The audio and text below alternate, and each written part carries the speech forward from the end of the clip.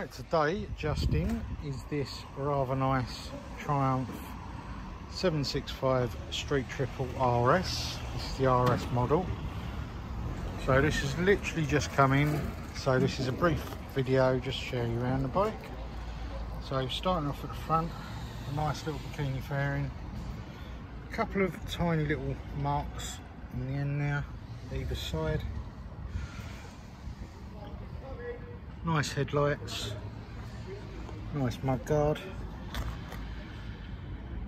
This hasn't had anything done on it whatsoever yet, so it's got to go through the developing process. Nice tyre, wheel is really good condition.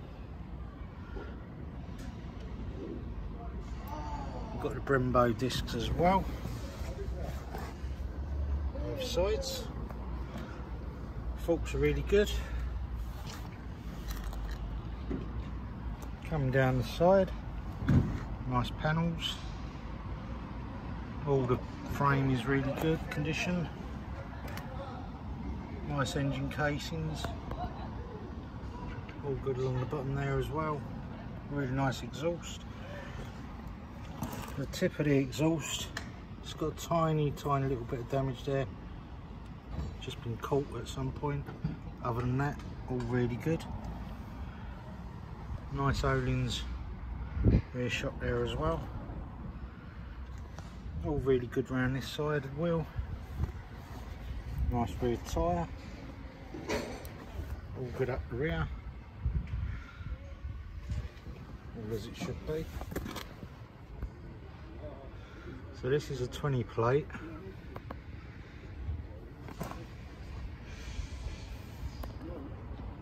Nice chain and sprockets dirty, but that will be all cleaned. Has got quick shifter as well. All really nice. Got the Evotech engine bars there as well.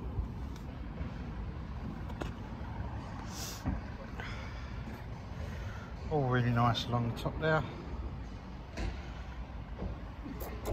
So I will show you the mileage again. 3,482 miles. Hardly been running. Really nice tank. No marks on it. It's like a pearlescent, very slight pearlescent white. Nice couple of seats there. Really good condition with the white stitching going through. Panels at the rear are good as well. So that is a brief description of the bike if you'd like to come down and view this bike, we're at Ryder Motorcycles in Castle Road in Sittingbourne. Open from 9am to 5pm Tuesday to Saturday. If you can't get down at all, please don't hesitate. Give us a call. We will answer any questions about the bike, alright? Thanks ever so much.